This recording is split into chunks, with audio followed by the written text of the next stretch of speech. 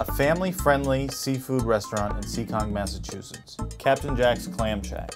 We're famous for our fish and chips and clam chowder, New England or Manhattan style. We have early bird specials, fried clams. We have daily chef specials, including salmon, swordfish, tuna, and fresh local sea scallops. We also have a excellent prime rib and build your own burger option if you don't like seafood. We also have a variety of desserts, which change daily. Jack's is a very fun environment. You're gonna come here, enjoy yourself, especially you're gonna enjoy the food and the service. My family has been working in the seafood industry for decades. My parents were both restaurateurs. Opening a restaurant like Captain Jack's has been a dream of mine for a long time. Our family and extended family, we're fishermen in Point Judith. We go to the docks, we go to the local fisheries. That's who we deal with and that's why we can provide such a high quality product to our customers. Ever since we've opened, we've got nothing but positive response. There's no place like Captain Jack's in all of Bristol County.